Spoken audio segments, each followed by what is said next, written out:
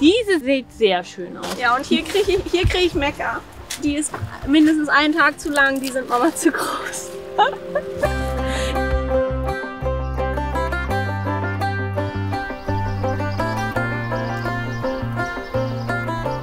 Die ist Wann hast gut. du das letzte die Mal geerntet? Gut. Die ist wunderbar, die sieht gut aus. Sie sieht gut aus, aber sie ist zu groß. Nein. Wer will dann so riesige Zucchinis? Wir kommen da sowieso nicht gegen. Donnerstag habe ich geerntet. Und heute Guck ist mal, Wie schön Samstag. das aussieht.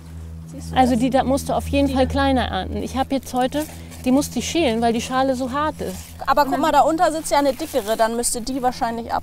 Ja, du wartest viel zu lange. Ich möchte kleine, zarte. Diese ist so optimal, eine schöne, schlanke, dass man auch so die Scheiben nehmen kann. Also ich kann auch noch einen Tick kleiner, hätte ich gerne. Aber Charlotte möchte immer möglichst viel ernten. Ich bin schon sehr stolz. Also Papa und auch Holger haben gesagt, äh, was tue ich mir hier an? Und so viele Kürbispflanzen, also weil da oben ja das Wasserfass ist und wir echt richtig weit laufen müssen. Und die haben gesagt, hier ist der Boden auch zu sandig, also zu schlecht. Und dann auch noch äh, das ganze Wasser schleppen dieses Jahr, das wird sowieso nichts, haben sie gesagt.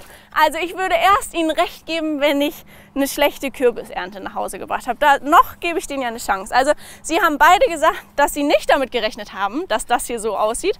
Aber man muss auch dazu sagen, ich habe jeden Tag gegossen. Und am Anfang waren es 100 Liter und jetzt brauche ich fast 150.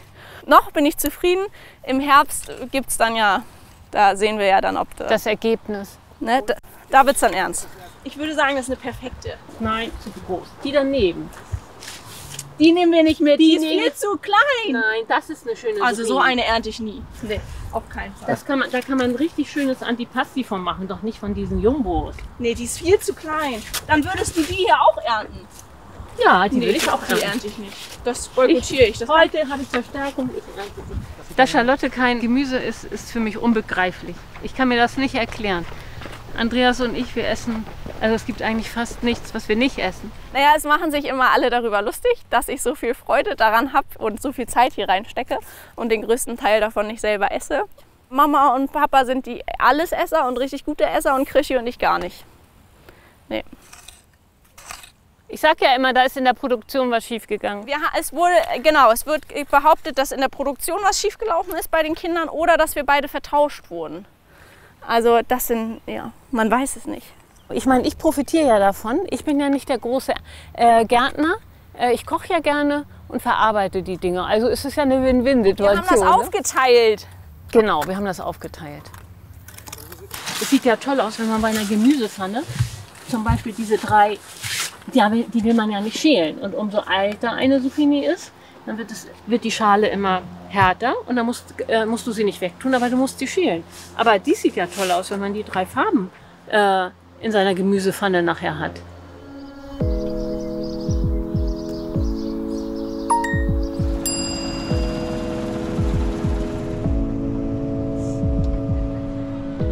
Bei uns ist der Sommer ausgebrochen. Wir sollen heute weit über 30 Grad kriegen.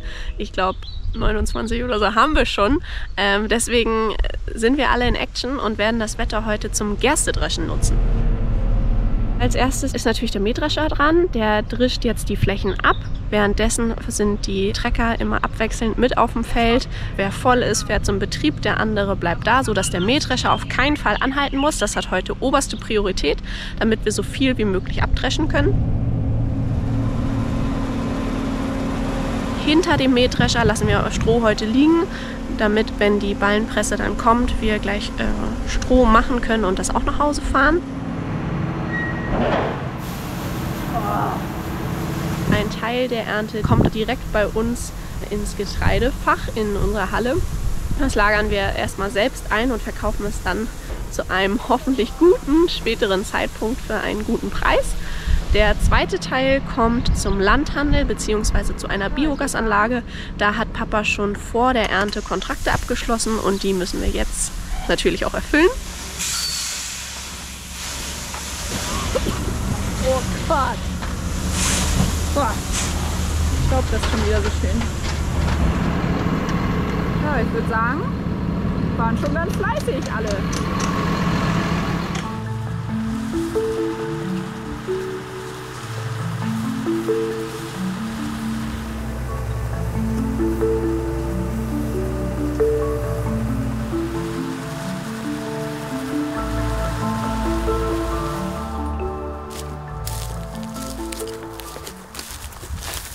So, wir haben hier nach der Gerstenernte ein bisschen Regen gekriegt, was für alle anderen Pflanzen sehr schön war.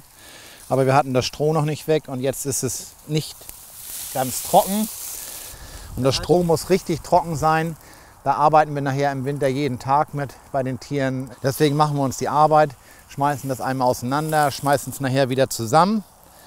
Und dann kommt der Lohnunternehmer und, und presst das. Und wenn man hier so oben auf, das ist alles trocken, aber hier unten drin, da findet man dann immer noch mal was, was, ja, was nicht ganz trocken ist.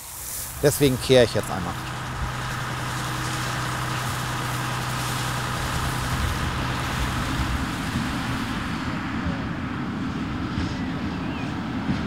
Ja, bei uns ist jetzt die Presse da. Das macht ein Lohnunternehmen.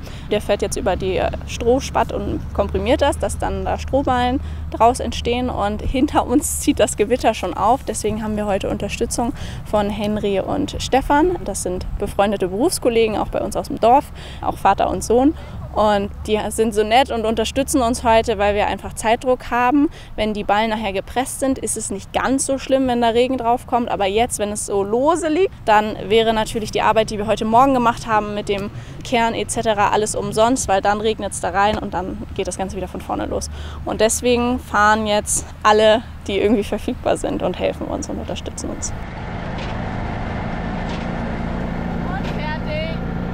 das ist mega. Wir haben ja auch sonst von unserer Nachbarschaft auch beim Spargelfolie auflegen und so. Und, und nur so geht das. Ne? Also das sind, gibt immer Arbeitsspitzen, dann kommt immer alles zusammen. Also das ist mit Geld nicht zu bezahlen, solche Unterstützung. Und auch, ja, wenn es dann alle so zuverlässig und gewissenhaft machen, das ist wirklich super.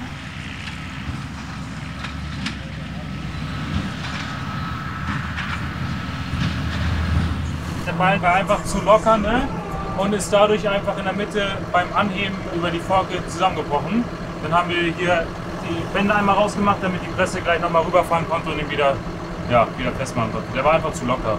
Kommt öfters vor. Das Gute ist jetzt, dass die Presse noch da ist. Sonst musst du das natürlich, entweder du verteilst das hier, was ziemlich blöd ist, oder du nimmst ihn halt irgendwie mit, was auch ziemlich blöd ist, weil er halt lose ist.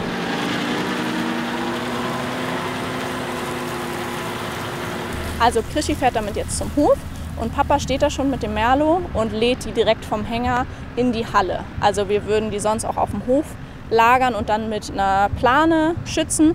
Aber das ist uns heute alles zu zeitintensiv, deswegen kommt alles erstmal in die Halle, Hauptsache ins Trockene. Und nachher umparken kannst du die ja das ganze Jahr. Wichtig ist es einfach so viel wie möglich zu pressen und auch ins Trockene zu kriegen. Ihr wisst, dass wir das alles für euch machen? Ja, damit ihr immer ein gemütliches Bett habt.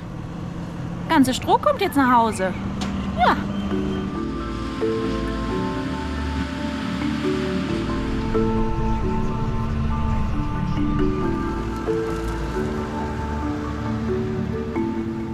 Ach, ist das schön. Ich sag euch, das sind äh, ja immer aufregende, anstrengende äh, Tage.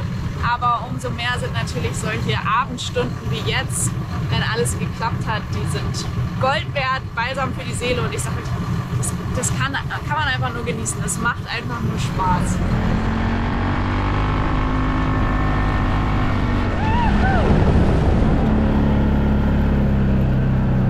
guckt euch das an! Das ist doch einfach nur geil!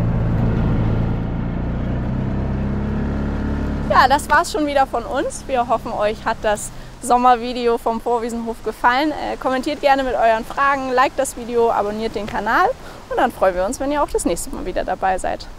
Tschüss!